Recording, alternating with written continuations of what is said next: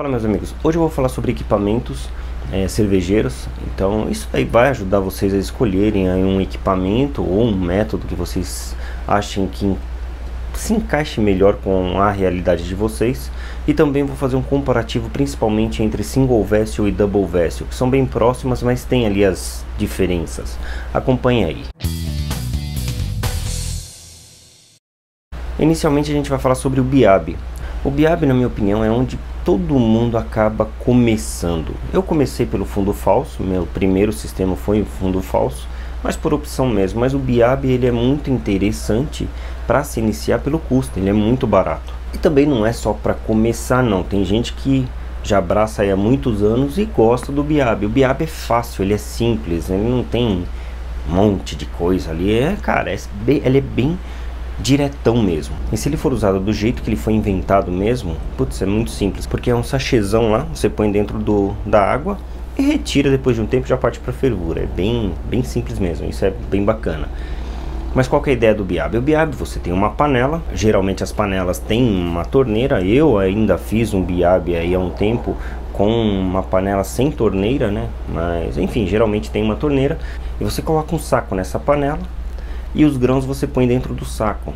Então qual que é a ideia? O saco ele vira como se fosse um sachê, tipo um sachê de chá mesmo. A água entra em contato com o grão moído e aí faz o mosto. Então quando termina você simplesmente levanta aquele sachê, deixa lá pingar e já parte para fervura. Basicamente é isso. Aí tudo bem, tem gente que opta pela lavagem, é, tem gente que opta por não fazer lavagem, enfim, aí vai. Então esse sistema é um sistema de biab, ele é muito simples, ele atende muito bem. E eu tenho amigos que fazem até hoje, como eu disse aí, 100 litros o cara faz com biab. Acho meio loucura, mas tá valendo. Depois disso, você pode dar uma incrementada no BIAB, colocar cesto de inox, colocar bomba de recirculação, coloca, é, vai dando uma incrementada. Na minha opinião, você começou a incrementar o BIAB, você começa a migrar para o sistema single vessel. É aí que a gente entra no segundo tipo de equipamento, que é o single vessel. Single vessel é um é um BIAB, basicamente, só que é um BIAB mais incrementado. Você tem duas panelas ou uma panela e um cesto, um dentro do outro. Você tem a panela, onde você tem a resistência, você coloca um cesto dentro, como se fosse a bag, só que é inox tal, ou em alumínio, não importa, com um fundo falso. E você põe os grãos ali dentro. Terminou, você levanta aquele cesto, deixa pingando na panela de baixo e faz a lavagem dos grãos, mandando diretamente para a panela de fervura. Esse método é o chamado single vessel. Tá, aí a gente vem para o terceiro método, que é o que eu estou usando atualmente, que é o Double Vessel. O que, que é o Double Vessel? O Double Vessel é um sistema que são duas panelas. Então, e são duas panelas mesmo. Quem não conhece o sistema Double Vessel, eu vou deixar aqui um link é, mostrando o sistema que eu estou usando agora. Vocês dão uma olhada aí, o braçando mesmo. Aqui eu vou mostrar algumas imagens tal sobre o sistema Double Vessel, mas se você quiser ver detalhadamente, dá uma olhada nesse vídeo aí, tá bom? Ó, como vocês repararam, os sistemas que eu já utilizei, eu deixei o link em cima, tá? Então no Biab, no Single Vessel e agora na Double Vessel. Esse sistema Double Vessel lembra um pouco o bibloco, né? Só que o sistema bibloco, você, a gente tem uma tina, uma panela de mostura, onde a gente vai colocar os grãos e, o, e a água, vai fazer o mosto ali. Geralmente essas tinas elas têm umas pás que ficam mexendo, elas não tem fundo falso geralmente, tá? Tem umas aí que os camaradas colocaram, mas geralmente não tem fundo falso, ela fica girando lá e a água e o grão fica batendo como se fosse uma máquina de lavar roupa, só que de forma mais lenta. Então são feitas todas as rampas aqui dentro, é feito o meshout aqui. Depois que termina tudo isso, é transferido o mosto com casca e tudo para uma tina de clarificação. Essa tina de clarificação, ela tem um fundo falso embaixo e tem uma bomba e fica recirculando com um visor do lado assim, onde a gente vai ver o mosto. Quando aquilo estiver clarificado, a gente manda para a tina de fervura. Só como a gente está falando em bibloco ou duo bloco, como chamam também, a gente devolve esse mosto limpo já para panela inicial. Obviamente que enquanto está circulando aqui, a gente já limpa o equipamento de mostura, né? O equipamento que a gente usou para fazer a mostura. E a gente vai ficar circulando, quando tiver clarificado, a gente manda para essa tina, que era a tina, a primeira tina, e aí faz a fervura. Aí que vem a parte interessante, porque uma abraçagem nossa dura 7 horas mais ou menos. Né? Aquele negócio de faz uma abraçagem, enquanto eu estou fazendo aquela abraçagem, meu equipamento inteiro está ocupado. Lá não, eles separam, eles falam, ó, tina de mostura, tina de clarificação e aqui a tina de fervura. Mas a gente perde um tempinho, daí que os caras foram para o quê? Para o tribloco, que é o equipamento que eu vou falar agora. Qual que é a ideia do tribloco? O tribloco a gente tem a tina de mostura, tina de clarificação e a tina de fervura, ou cozimento, como eles chamam. Então olha só que interessante, a gente faz a mostura aqui, geralmente uma hora. Terminou, manda para tina de clarificação. Fica lá circulando, clarificando, Daqui vai para a tina de fervura. E aqui na tina de clarificação que a gente faz a lavagem, tá? E a gente manda para a tina de fervura. Qual que é a vantagem do tribloco? Olha só que interessante. A gente faz a mostura, terminou a mostura, a gente manda para clarificação. Aqui terminou, dá uma lavadinha rápida ali no equipamento, manda água, manda malte de novo e começa uma outra abraçagem. Enquanto essa aqui está clarificando, terminou de clarificar, a gente manda para a tina de fervura, faz a fervura da primeira cerveja aqui. Quando termina a primeira cerveja, a gente está terminando o mesh dessa. Aí a gente manda para a tina de clarificação. Então você consegue aumentar absurdamente a produção da cerveja, da sua cervejaria com esse equipamento. E aí tem a quadribloco que adicionam uma tina a mais, que é a tina de Whirlpool ou Whirlpool. Tem gente que fala Whirlpool, tem gente que fala Whirlpool. Mas enfim, para que, que serve isso aqui? Terminou a fervura, a gente manda para essa tina de Whirlpool e faz o Whirlpool aqui. Geralmente essas tinas são mais largas, porque já, as tinas de fervura são estreitinhas, parece um foguete mesmo. E as tinas de Whirlpool são bem largonas, né? Vai auxiliar no Whirlpool. Você trabalhando com isso daqui, cara, você consegue acelerar muito tua fábrica, muito mesmo tua fábrica. Além desses, também tem o Hermes e o Rims. São métodos que ainda tem gente que usa, mas está diminuindo a quantidade, digamos assim. Eles são bem parecidos, mas o Hermes a gente tem uma panela que a gente enche ela de água, pode ser qualquer água, não importa, que não vai entrar em contato com o mosto. Dentro dela tem um chiller de imersão, como se fosse isso. Então a gente sai da panela da mostura com o mosto passa por essa serpentina com água quente e volta para cima. Então quer dizer, uma recirculação contínua, só que a, o mosto passando por um chiller. Então esse chiller vai aquecer o mosto e devolver para a panela de mostura. E o controle é feito controlando o mosto mesmo. Então, por exemplo, começou a baixar a temperatura daqui, recircula um pouco o mosto pela panela que está com água quente até chegar na temperatura. Chegou, beleza, para, desliga a bomba. Então esse controle é feito dessa forma. Pode ser automatizado ou manual. E o RIMS, ele é, ele tem uma circulação, só que daí é feita na mesma panela. Então sai dessa panela, passa por uma bomba e volta para cima, né? Para cima da cama de grãos. No meio desse cara, eles colocam um aquecedor de baixa potência, ou geralmente uns 500 watts, é o suficiente. Então o mosto sai daqui da torneira da parte de baixo passa por esse aquecedor e volta para cima e, e, fica recirculando. Esse aquecedor ele é controlado por um, geralmente é controlado por um termostato, um, um, um controlador qualquer e, e, o e o tempo todo fica recirculando. Precisou aquecer, começou a baixar a temperatura, liga o aquecedor dessa linha e aquece. A panela em si não tem aquecedor embaixo, não tem resistência, não tem chama, não tem nada. Esses dois foram os sistemas bem usados aí. E além desses aí, agora tem duas panelas, três panelas, fundo falso, uma panela com fundo falso e aí vai.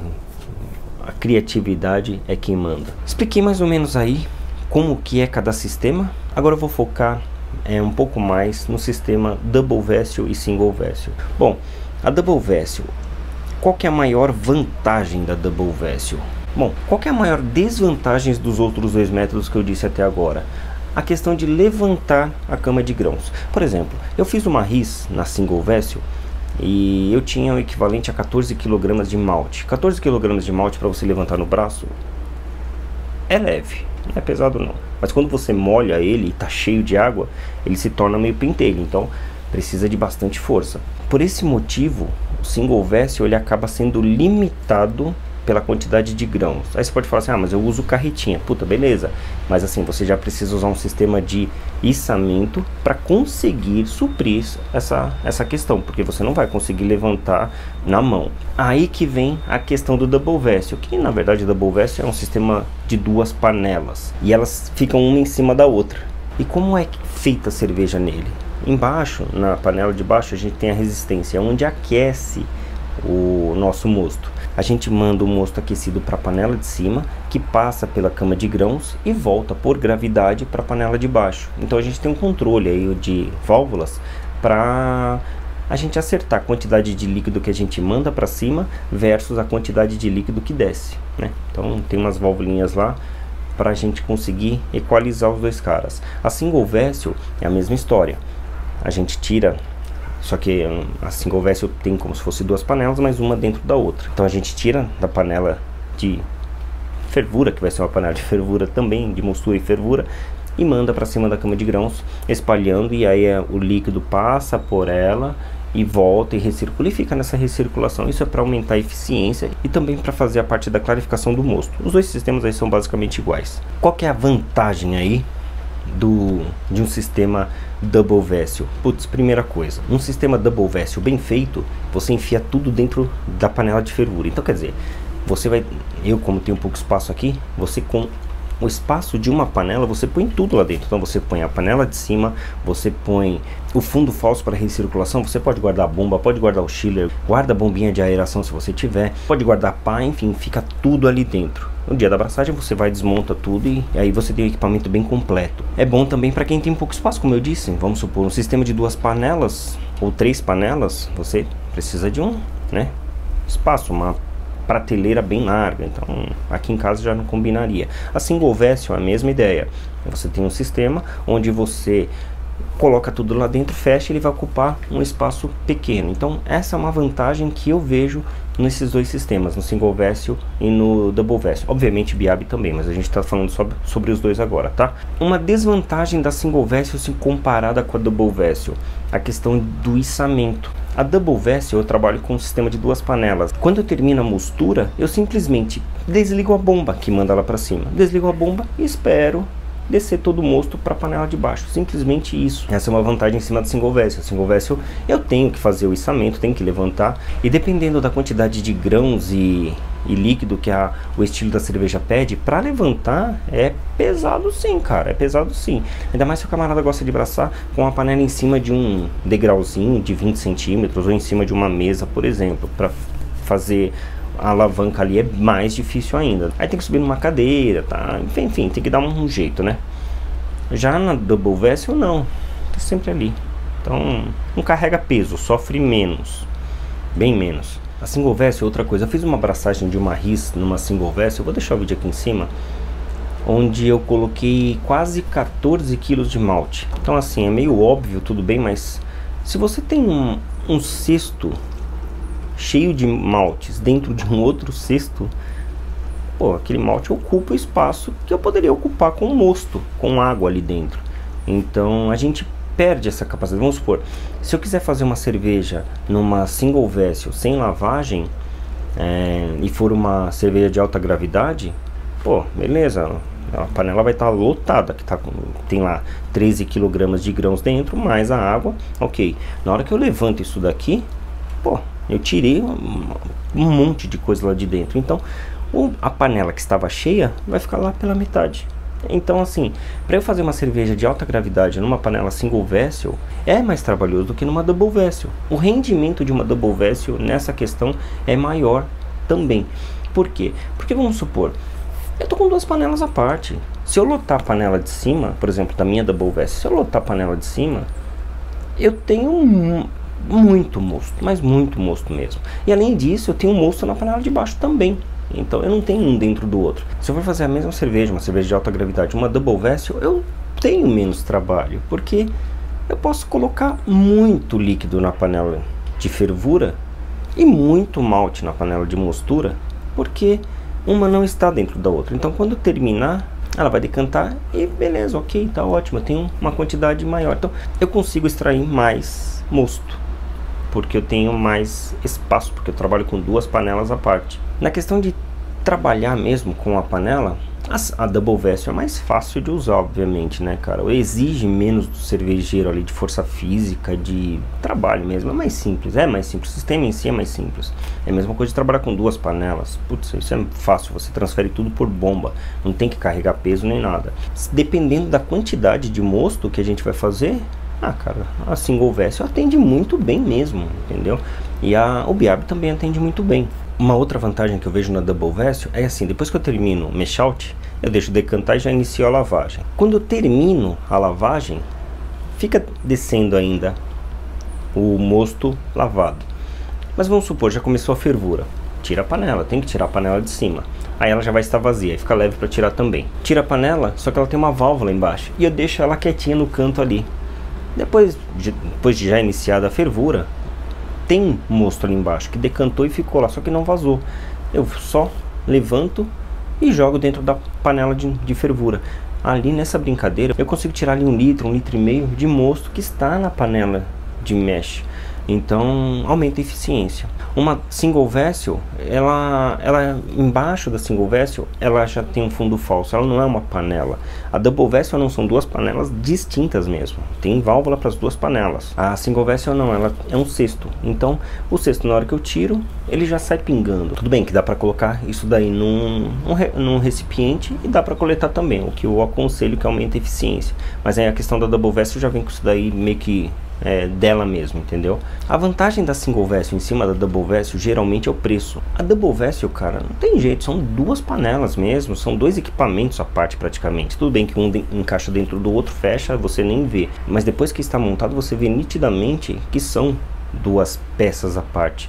Então isso daí obviamente vai aumentar o custo, não tem jeito, não tem como mesmo, vai deixar o produto um pouco mais caro. Eu já abracei nesses três métodos. O que eu prefiro realmente é o Double Vessel, que é mais fácil, depois o Single Vessel e depois o Biab. Claro que o Biab eu fiz de um jeito para teste, né, para fazer vídeos aí mostrando como que é o Biab, essas coisas. Mas assim, se eu optasse pelo Biab mesmo, obviamente que eu iria melhorar. Mas aí eu iria melhorar, melhorar, melhorar, melhorar tanto que eu iria transformar o Biab numa Single Vessel. Não adianta, eu iria cair na Single Vessel. O Double Vessel ainda é um sistema que é, não, está tão, não tá sendo tão falado ainda, tão comentado, mas eu já estou vendo que tem alguns amigos aí que já usavam um sistema que era o Double Vessel sem saber o nome. E tem uns outros amigos aí que viram, gostaram da ideia e estão migrando para o Double Vessel pela questão da facilidade realmente. É mais fácil, a real é essa, é mais fácil. E, cara, fazer cerveja em casa, eu acho que a gente tem o prazer, mas o que der para a gente facilitar, a gente vai facilitar. Se não fosse isso, ninguém usaria bomba de recirculação, faria na canequinha, certo? Então, nosso objetivo é sempre facilitar. A Double Vessel facilita mesmo. Referente à eficiência, eu tinha uma eficiência muito boa na Single Vessel. A Single Vessel entrega uma eficiência muito boa, e mas eu tenho uma eficiência melhor na Double Vessel. Ela é ligeiramente maior do que eu tinha na Single Vessel, mas é maior. Eu acredito que essa eficiência aí eu esteja ganhando principalmente pela panela que é mais larga, as duas panelas são mais largas, isso ajuda, facilita para mexer ali o mosto, né? Também pela questão do mosto que fica embaixo da, do fundo falso, porque eu fecho a válvula de cima e deixo lá ele quietinho, fica decantando. Na hora que decanta tudo, eu vou lá só jogo, como eu já disse. Então isso daí, cara, você ganhou um litro, ganhou meio litro, 600 ml que seja, de mosto, onde você nem estava contando com ele, isso vai aumentar a tua eficiência. Então para encerrar, eu vou falar resumidamente aqui do equipamento que eu estou usando, que é uma K60 mais um TA30. K60 mais TA30, os dois juntos, eu transformo o meu sistema num sistema de três panelas e fica tudo dentro da panelona. É o que eu disse para vocês, vocês verem como que ela tá aqui, ela fica fechada, você fala, porra, é uma panelona só. Não, dentro tem um monte de coisas. Então, ela eu faço a mostura, depois que eu termino a mostura, eu lavo a cama de grãos com o TA30. Então fica um sistema de três panelas aí tudo um compacto um dentro do outro. É um sistema extremamente completo. Com certeza vai aumentar a tua eficiência, aumenta a facilidade. É, enfim, cara, melhora tudo aí, fica bem mais simples para trabalhar. Para quem acompanha o canal sabe que eu usava uma caixa térmica para armazenar a água. Eu aquecia toda a água inicialmente, separava. Atualmente não, estou aquecendo a água somente do mesh. Já começa o mesh, começou o mesh, liberei o mesh, beleza. Agora eu vou lá, aqueço a água da lavagem e aí a água da lavagem já fica preparada ali. Então terminou, terminou a lavagem, só seco, porque não sujou essa panela, seco já guardo. Isso ajuda pra caramba a gente que é caseiro e principalmente a gente que tem pouco espaço. Bom galera, eu tentei aí explicar mais ou menos como que é cada sistema e mostrar para vocês aí as vantagens que a gente tem no sistema Double Vessel e as vantagens que a gente tem no sistema Single Vessel, tudo bem? Se vocês tiverem alguma dúvida, pergunta aí embaixo que eu vou responder com certeza. Dependendo da dúvida, eu faço um outro vídeo, beleza? Tamo junto, até a próxima. Cheers. E se ele for usado da forma que... Vou esperar. Avião. Começa a migrar para o sistema single vessel e não para de passar avião hoje.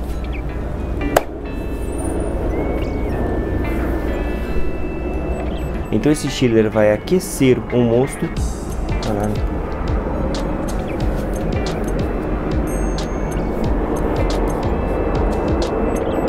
Então a gente tira da bomba a pan... uma